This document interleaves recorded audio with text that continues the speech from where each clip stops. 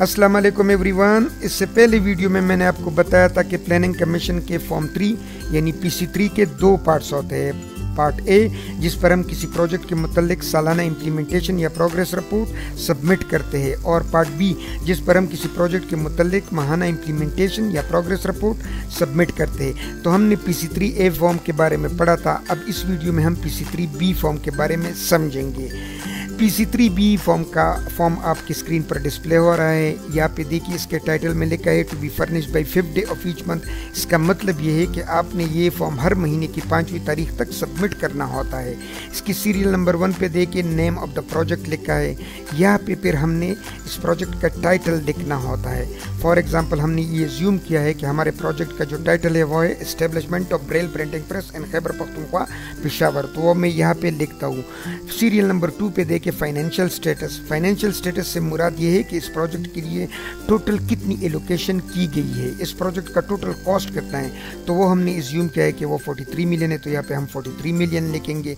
Financial status के heading के चार सब हेडिंग हेडिंग नंबर वन को सब हेडिंग नंबर वन को दे के P H D P for the current year तो चूँकि हमारा ये project provincial E D P से फाइनेंस हो रहा है, इस वजह से हम पी एच डी पी की जगह पे प्रोविंशियल ई डी पी लिखेंगे और फिर इस टोटल अमाउंट 43 मिलियन के अगेंस्ट इस साल इस प्रोजेक्ट के लिए कितनी एलोकेशन की गई है, वो हम यहाँ पे रिफ्लेक्ट करेंगे। तो हम सपोज़ करते हैं कि इस साल ट्वेंटी मिलियन का अमाउंट एलोकेट किया गया है इस प्रोजेक्ट के लिए। तो यहाँ पे हम ट्वेंटी लिखेंगे अच्छा इस current quarter requirement as per cash plan cash plan आपकी करंट ईयर की टोटल एलोकेटेड अमाउंट है. फॉर एग्जांपल अगर 20 मिलियन का अमाउंट एलोकेट हुआ है तो इसका मतलब है कि ये मेरे साला, मेरा सालाना कैश प्लान है. अब क्वार्टर किसी चीज़ के फोर्थ पार्ट को कहते हैं तो अगर हम इस 20 मिलियन का क्वार्टर निकालना चाहे तो हम इसको फोर पे डिवाइड करते हैं. और हमारे पास जो फिगर आता है वो फाइव है। ठीक है तो यहाँ पे हम लिखेंगे फाइव मिलियन यानी मेरे जो क्वार्टरली कैश प्लान है या क्वार्टरली कैश रिक्वायरमेंट है वो फाइव मिलियन है।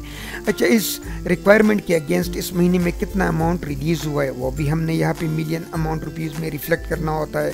मतलब मेरे जो, मेरा जो क्वार्टरली कैश प्लान है वो फाइव मिलियन है तो मैं सपोज़ करता हूँ कि सिर्फ़ तीन मिलियन का अमाउंट रिलीज़ हुआ है तो मैं यहाँ पे तीन मिलियन लिखूँगा।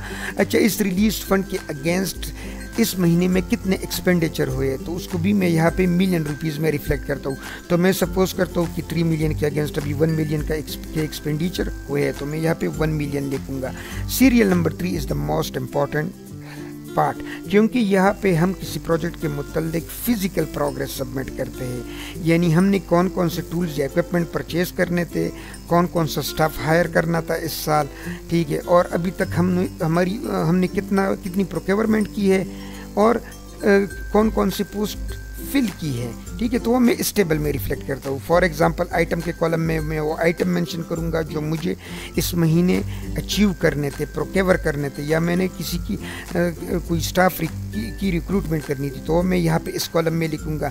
फिर उस हर आइटम के कितने कितने यूनिट मुझे इस साल प्रोकेवर करने थे तो मैं यहाँ पे लिखूँगा। इस टेक्स्ट को आप अकॉर्डिंगली चेंज करें। मतलब आपका यहाँ पे लिखिए ईयरली टारगेट्स अच्छा इस इन ईयरली टारगेट्स में अब तक कितने टारगेट्स अचीव हुए हैं? फॉर एग्जांपल अगर आइटम में मैं कंप्यूटर मेंशन करूँ तो यहाँ पे मैं लिखता हूँ कि मुझे इस साल के दौरान 12 कंप्यूटर खरीदने थे। इन 12 में से सपोज़ मैंने सात खरीदे तो मैं यहाँ पे लिखूँगा। लेकिन इस टेक्स्ट और इस टेक्स्ट को हमने अकॉर्डिंगली चेंज करना है, ताकि क्लैरिटी रहे। तो यहाँ पे वो तमाम आइटम लेके जो इस साल आपने प्रोक्योर करने हैं, और यहाँ पे वो यूनिट लेके जो इस साल आपने मतलब जितने यूनिट आपने प्रोक्योर करने हैं, और यहाँ पे आप प्रोग्रेस लेके कि अभी तक आपने कितने लिए हैं। ठीक है सीरियल नंबर फोर पे आप देखें आउटपुट इंडिकेटर यानी हर प्रोजेक्ट के लिए हम पी सी वन में कुछ इंडिकेटर सेट करते हैं और फिर उनकी फेजिंग भी करते हैं। यानी हम पी सी वन में ये स्पेसिफाई करते हैं कि पहले साल हम क्या करेंगे, दूसरे साल हम क्या करेंगे और तीसरे साल हम क्या करेंगे।